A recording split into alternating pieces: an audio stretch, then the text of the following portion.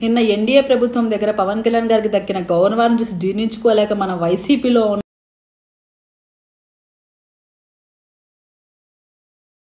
First rubber stamp రోజా గారు ముందుకు వచ్చేసి పవన్ కళ్యాణ్ గారు విష ప్రచారం చేస్తోంది. పవన్ కళ్యాణ్ గారంట చంద్రబాబు నాయుడు గారు దళారీ పని చేస్తున్నారంట. అమ్మ రోజమ్మ ఒక్కసారి గతంలోకి వెళ్ళి నువ్వేం మాట్లాడావు ఒకసారి గుర్తు చేస్తా. రాజశేఖర రెడ్డి గారు చిరంజీవి గారిలో ఎవరు పట్టించుకోలేదు. ఆ రోజు అంత పెద్ద సమస్యలు ఎక్కడా కూడా లేవు.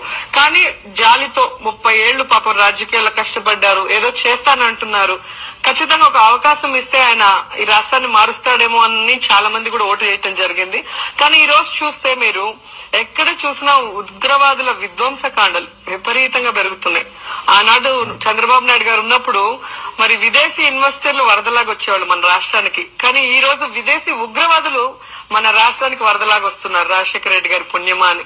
మరి ఎక్కడా కూడా దాని గురించి ఐడెంటిఫై చేసి యూట్యూబ్ రోజా రోజా గారు మీరు కూడా? వైఎస్ రాజశేఖర రెడ్డి గారు కద్దరు చొక్కాలు వేసుకునే కాంగ్రెస్ నాయకులకి కార్యకర్తలకి కమిషన్లు వచ్చే పనులు చేయడంలో ఉత్సాహం చూపిస్తున్నారు. యూట్యూబ్ రోజా గారు మీరు కూడా దళారీ వ్యవస్థ గురించి మాట్లాడుతున్నారు. టికెట్లు అమ్ముకుంటూ ప్రతి వారం దర్శనం చేయించుకొని డెబ్బై మందిని సంకనేసుకొని పోయి డబ్బులు తినే నువ్వు కూడా మాట్లాడుతున్నావు.